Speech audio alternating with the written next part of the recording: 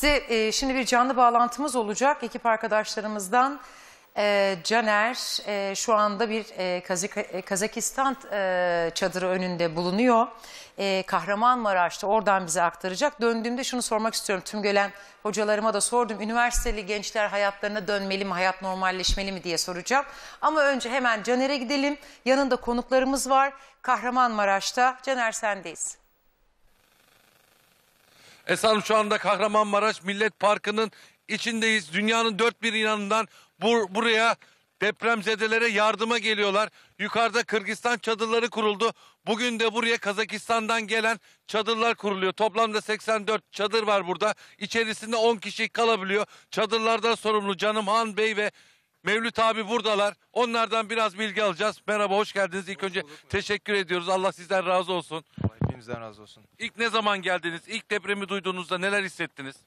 İlk depremi duyduğumuzda tabii ki e, bizim de sevdiklerimiz vardı. Hatay'da kaybettiklerimiz de oldu. Öncelikle tüm Türk milletinin başı sağ olsun.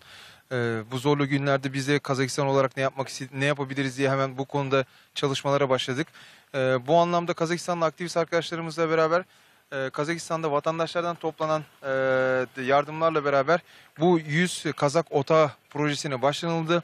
E, arkadaşlar sağ olsun e, en kısa zamanda e, büyük bir yardım kampanyasıyla bu çadırların toplanma işlemini bitirdiler. E, yaklaşık olarak e, dün akşam sanırım, dün öğlen saatlerinde de buraları getirdik. Adana'ya inmişlerdi uçak, uçaktan indirdik. Ondan sonra Maraş'a getirdik. Sabahtan beri de kurulumuyla ilgili çalışmalara başladık. Çok teşekkür ediyorum. Yani bu dayanışma Toplamda tüm, kaç... Tüm yabancı ülkelerden gelen arama kurtarma ekipleri, yardım kuruluşları gerçekten seferber oldu. Ee, Caner e, aslında e, bir geleneksel çadırlarını gönderip bunları da kurdular. Onların e, içini de gezebilir miyiz, gezdirebilirler mi ve anlatabilirler mi Evet bize? Esra Hanım.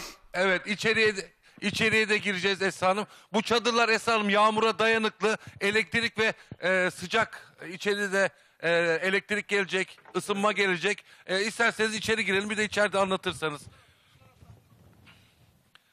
Burası sizin geleneksel çadırlarınız değil mi? Doğrudur evet. Burası bizim Kazakların geleneksel çadırı.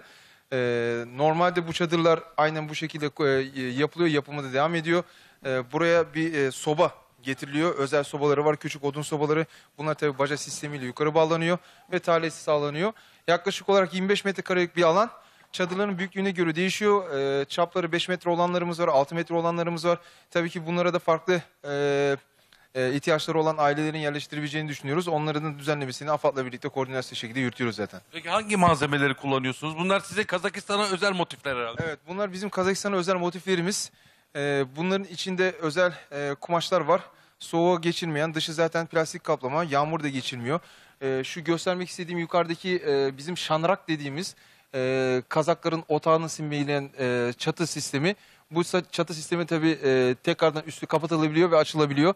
E, yağmurlu günlerde veyahut da yağışlı günlerde üstü kapatılarak içerinin sıcak tutulması sağlanıyor.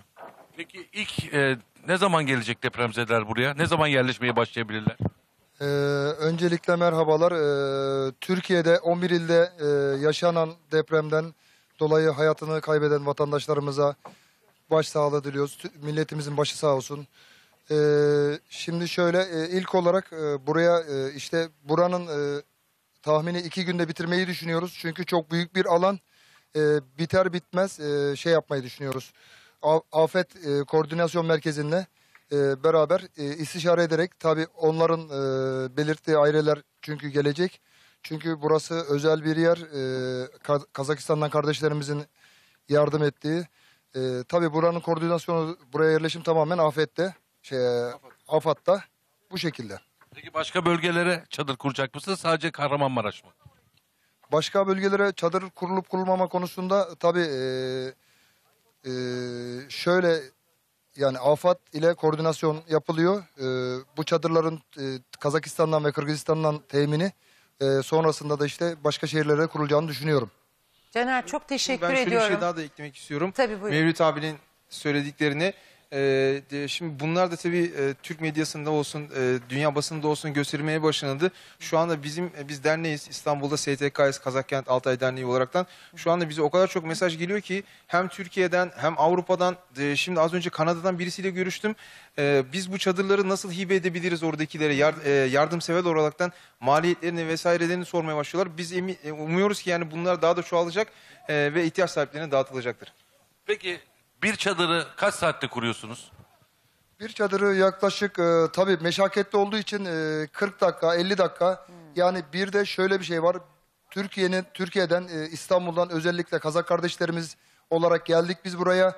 E, gönüllü olarak geldiğimiz için e, ilk defa kuran arkadaşlarımız var. Yani bir saatte bir çadır kurabiliyoruz. Kurabiliyorlar. Normalde Kazakistan'dan kardeşlerimiz gelse belki 15-20 dakika sürebilir öyle söyleyeyim. Caner çok Şu an teşekkür izleyicilerimiz ediyorum. Bu size muhtemelen yardımlaşma ruhu teşekkür ediyorlardır. hepimizi Biz ayakta de, tutuyor. Biz de onların biz Evet, izleyicilerimiz muhtemelen sizi izlediğinde teşekkür ediyorlardır.